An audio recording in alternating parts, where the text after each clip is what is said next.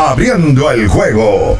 221 21 16 y 5630937 el número de contacto de abriendo el juego. Mira, pero con 809 nosotros no estamos en 1980. Hay gente que se cree que, que como tú lo estás diciendo y lo marca así el teléfono. Señores, me gustaría saber qué piensa la gente si República Dominicana tiene chances reales de ganarle el partido a Croacia y optar por un boleto a la final de este repechaje olímpico 2024. A mí me interesa saber la opinión de la gente, si la gente cree que Dominicana tiene un equipo con el que puede batallar o si finalmente la gente piensa que el tema físico se va a imponer en contra de la República Dominicana. Sí, que opinen que tiene que hacer República Dominicana o que tiene que suceder y que no me digan que se desmayen los cinco titulares de Croacia, que eso no es un análisis.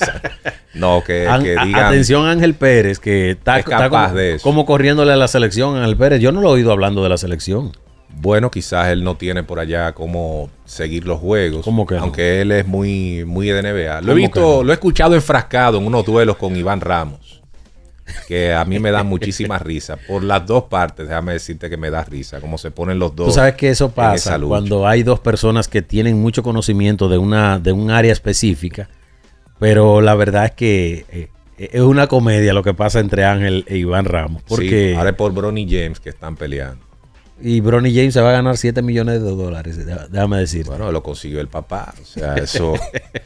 Ángel tiene un punto, Iván tiene otro. Pero bueno, e- eso es otro tema. Yo te hablaba de esos jugadores internacionales que le dicen que sí a su selección sin problema y con frecuencia. Si alguien te pregunta por qué sucede eso, ¿qué palabras tú tendrías para, para alguien que tenga esa inquietud? Sobre todo el dominicano, que es el que más se lo pregunta, que ellos ven que otras selecciones sí tienen esos tipos hasta más estelares que los de aquí, diciendo que sí, pero los de aquí entonces tienen situaciones a cada rato. Si hay un término que yo puedo utilizar para responderte sería compromiso. Y si tú me pides que detalle la palabra compromiso en este sentido, te voy a poner un ejemplo.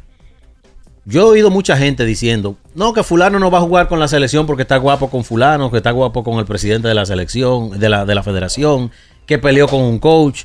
Yo les voy a decir una cosa, señores. En todas las selecciones nacionales, en todos los deportes de seleccionado nacional, siempre hay inconvenientes entre jugador federación, jugador coaches, jugadores entre ellos mismos. La única diferencia es que esas selecciones internacionales de otros países no comprometen, los jugadores no comprometen su participación con la selección independientemente de la, de la situación. No importa si a usted no le dan una dieta, no importa si a usted no le llevan un amigo y le dan una habitación de hotel VIP, no importa si usted peleó a las trompadas con un coach, no importa si el, el dirigente a usted no le da la cantidad de minutos que usted entiende que debe darle.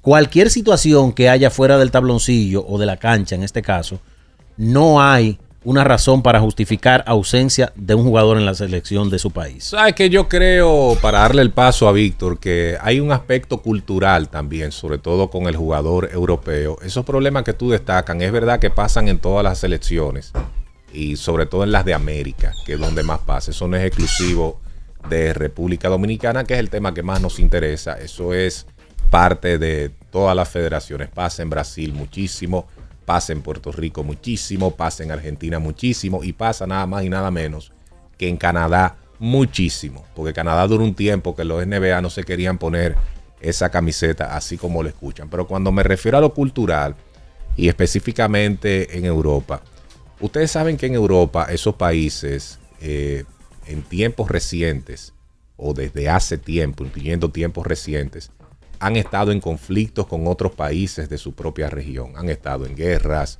eh, guerra de los Balcanes, tú te vas más atrás, la Segunda Guerra Mundial, tú te vas entonces eh, a finales de los 80, principios de los 90, la separación de la Unión Soviética. Entonces esos países en conflictos, en, en guerras, en situaciones, el nacionalismo es un poquito más grande.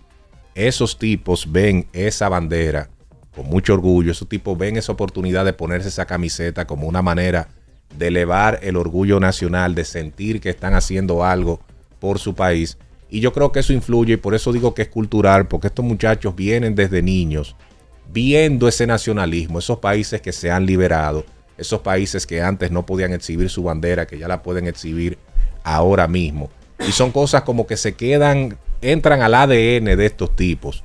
Y ellos por eso, en mi opinión, no le dicen que no a, su selección nacional. No es lo mismo eh, ese ambiente que el de este lado, donde ellos incluso, con otras selecciones que también tienen muchísimo nivel y con países que fuera del deporte rivalizan, esos tipos quieren estar ahí para demostrarle a esos países que ellos están por encima. Y hay mucho tema de orgullo en esos jugadores. Hablando de orgullo, perdón, hablando de orgullo y hablando de, de liberarse, me gusta su camisa, señor Báez. Muchas gracias. ¿La venden para hombres? También, sí. Ah, bueno. bienvenido. Eh, hay que, lo que pasa es que tú tienes que estar muy seguro de tu, de tu masculinidad para ponerte una camisa. Yo no la he puesto en duda. Yo le pregunté si la venden para hombres. Por eso te, hago el comentario por eso. Porque si tú la, no, no te gusta ese estilo, entonces quizás debas revisar. Quizás. Pero no lo estoy diciendo. Es que yo no Quizás debas de revisar. Porque usted está jugando, óigame, usted está jugando a la, a la teniendo como poniéndome una coraza de defensa. Yo le estoy resaltando lo bella que está su camisa y de hecho le pregunto si la venden para hombres porque me interesa comprar una para hombres. no es para hombres la que él tiene. Bueno, no, no, parece. No. Sí, hay una mujer que, que, usa así. A Yasmin se la cogió. No, pero yo no creo que Yasmin. No le, sirve como, le sirve como pijama esto, como bata. Buen día, muchachos. Miren, ese tema es muy interesante, Melvin, y yo estoy de acuerdo contigo porque si tú te fijas, eh, Estados Unidos tiene que ser uno de los países donde los atletas más le dicen que sí, posiblemente, independientemente de que recientemente hemos visto en, competencias importantes algunas figuras que, no se han montado, quizás porque no le dan el valor. Espérate, espérate, antes de que tú sigas. En el baloncesto hay muchísimas que le dicen que no. Lo que pasa es que ellos tienen tanto talento que ellos compensan, pero sí, a eso no se nota, sí. ¿verdad? Pero a cada rato esos tipos estelares le dicen que no. Pero Lebron, Lebron tenía como, como una década diciéndole que no. A pero ahora Juegos Olímpicos en Francia, ahí le van a decir que no. Eso es una chulería, pero en China, en Filipinas no, yo no voy para allá, eso está demasiado lejos. Pero que tienen esos países en común es que le, inculcan el patriotismo a los niños desde las escuelas. Y yo te voy, yo, yo no me voy más lejos. Nosotros aquí en este país, hasta hace ¿qué? 15, 20 años, no sé, teníamos esas materias en las escuelas y en los colegios, donde se le inculcaba el patriotismo a la, a la gente. Y por eso quizás esta generación de ahora no...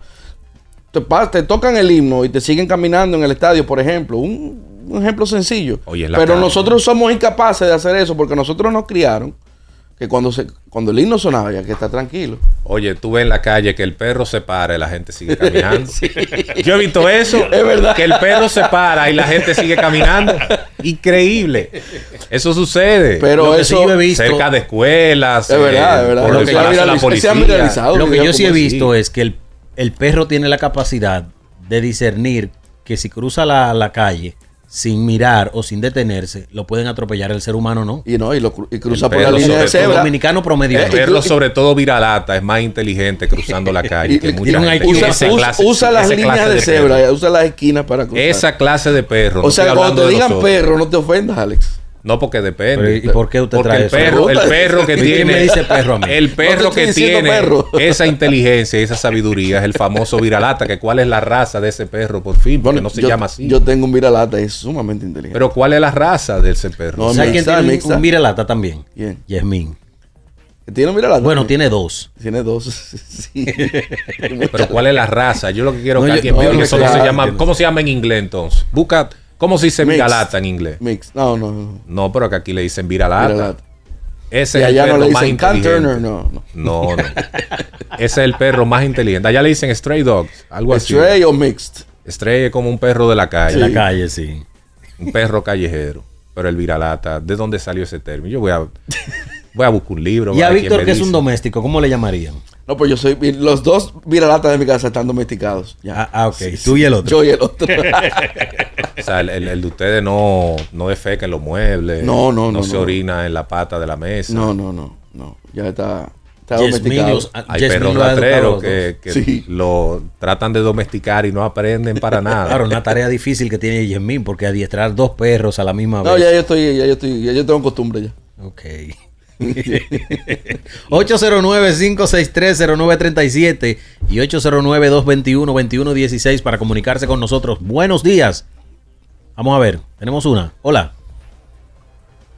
Buenos días, mi gente. Ay, papá, lo provocó Melvin. Todo bien, ¿y tú, mi hermano?